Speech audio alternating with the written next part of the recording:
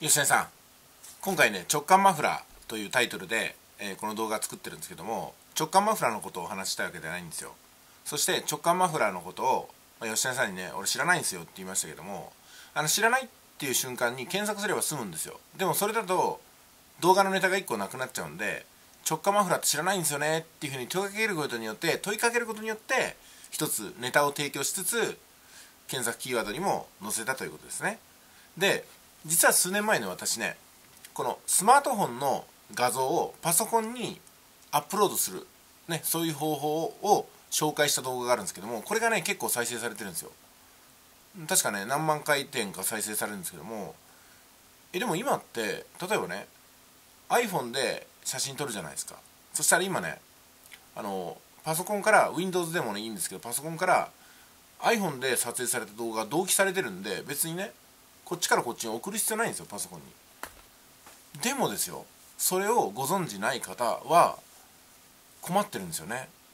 結局スマホと本で写真撮ったけどもこの写真どうやったらパソコンの方に埋め込めるのって。SD カードないしなんか買わないといけないのかなみたいな感じで検索するとえあそうなんだと。その時紹介したのは私はこのスマートフォンの中のメールがあるじゃないですか。メールに添付して自分にメールを送ればパソコンのメールソフトにそのまま自分からのメールが反映されるからそれでダウンロードしてパソコン上に保存しておけば使えるでしょ？って形だったんですよね。でもこの動画が割と再生されてるというね。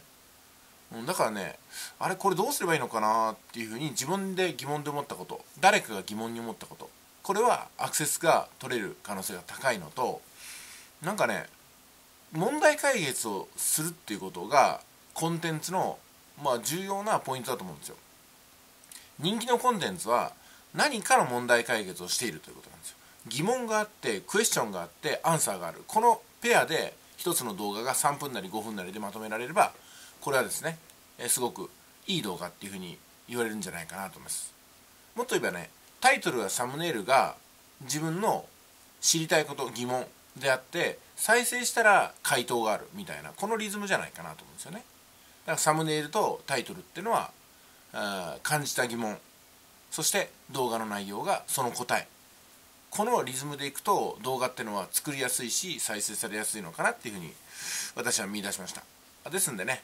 ネットビジネスの基本講座ってありましたけどもうん私の場合はあそんな感じですかね。問題解決。っていうこの一言に尽きるかなと思います。